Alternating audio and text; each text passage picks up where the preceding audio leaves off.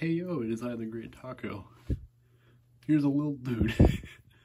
so initially today's video was planned to be um, a MOC review redux, but I couldn't decide on who to do, and on top of that, I built this old dude um, Prismeye last night. So I thought, why not do a video on him? He's done, pretty much. Might change him soon, but you know, for now, he's finished. Now the whole basis behind this MOC was the fact that I wanted to use these teal pieces, which I got from the Pick a Brick wall in January. Um, then I wanted I wanted to make a teal MOC that was Bionicle, but I don't have any.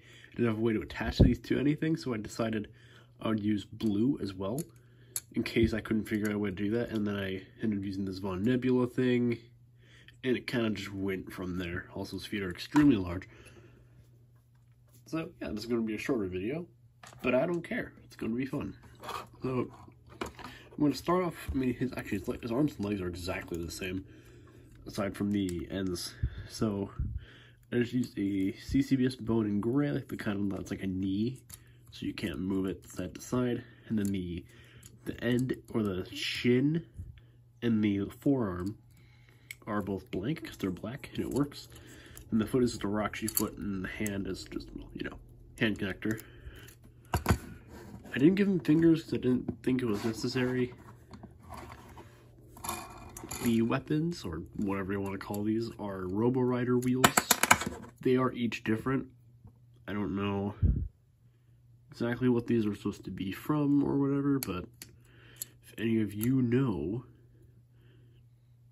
feel free to tell me. But yeah, they just kind of spin. You can't roll with them, but imagine it'd be just like, just like kind of throw them or something, I don't know.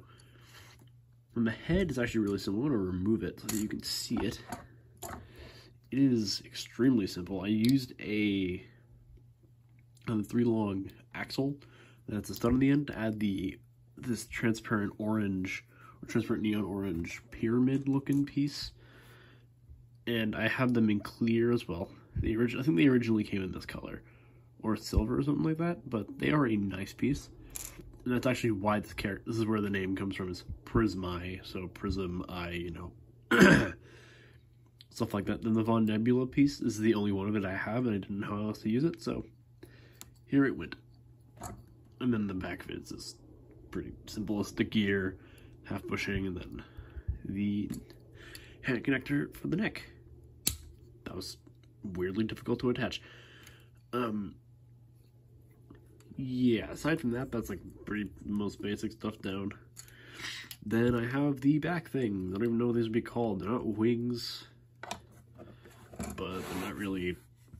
I don't know what they are. Just they just look cool. And I'm actually here. I'm going to assemble these as well. I'll show you the technique I used to attach on both sides like that. I used an illegal technique. I don't care that it's illegal. I like it.